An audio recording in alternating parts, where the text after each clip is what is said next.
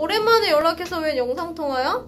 너 죽었는지 살았는지 궁금해서 연락해보았지. 밖에도 안 나오고 뭐하고 살아? 나? 아프리카 TV에서 방송하고 있지. 방송? 무슨 방송? 나 원래 게임 좋아했으니까 게임 방송하고 있고 아이디는 알다시피 게으른 프레로 활동하고 있지. 근데 너 게임 오지게 못하잖아. 내가 다 아는데 무슨 게임 방송이야? 야, 나 게임 경력이 얼만데 그리고 방송도 벌써 2년 됐거든? 나 재능충이야 왜 이래? 고블린 했어. 아! 아, 나 킬 언제 했지? 안 돼! 아, 오빠!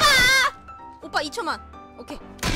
아! 안 돼, 내 발배. 오빠, 오빠, 오빠? 오빠, 오빠. 아니, 아니, 아니, 내가, 내가, 내가, 내가, 내가, 잘못했어. 잠깐만. 그거 3일일 것 같은데. 안 돼!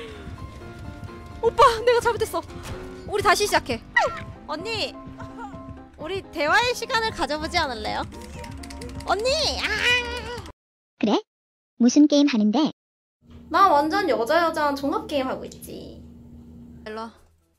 누나가 대가리를 뽀개 친구야 거시기 샷 거시기 한 번 더 오케이 알스 깨끼 빤쭈 언니 빤쭈 예 망사 빤쭈를 내놔라 안돼 그래?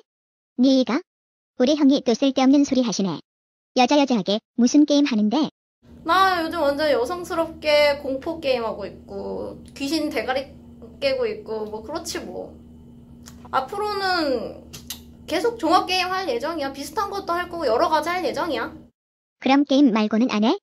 음, 말고 다른 거는 여행 방송이랑 먹방 하고 있고 뷰티 쪽도 좀 생각 중이야.